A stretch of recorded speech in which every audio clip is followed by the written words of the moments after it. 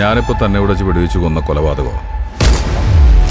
പക്ഷെ ഞാൻ അതിർത്തിയാക്കുന്ന ഒരു പട്ടാളക്കാരനും താൻ ഓപ്പോസിറ്റ് പാർട്ടിയുടെ ആളുമാണെങ്കിൽ ഞാൻ അവിടെ വെച്ച് കൊന്ന അതെന്റെ ഡ്യൂട്ടിയാണ്. രണ്ടായാലും കൊല കൊല തന്നെ. കൊലയ്ക്ക് പിന്നിലെ റീസൺ അതാണ് ഒരാൾക്ക് മെഡൽ കൊടുക്കണോ വിലങ്ങണിക്കണോ എന്ന് തീരുമാനിക്കുന്നത് അല്ലേ?